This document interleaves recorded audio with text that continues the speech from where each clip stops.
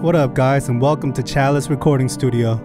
This is the studio I've called home for a third of my life, and it all started when I got an interview here back in 2011, July 11th, matter of fact. Chalice needs no introduction, but in case y'all don't know, I'd say about 99% of your favorite artists have been here. You know, Rihanna, Beyonce, Jay Z, to Kanye, Travis, you name them, they've been here. This is Studio A, this is the room that we recorded all the live elements on To Pimp a Butterfly. Shout out to Terrace Martin.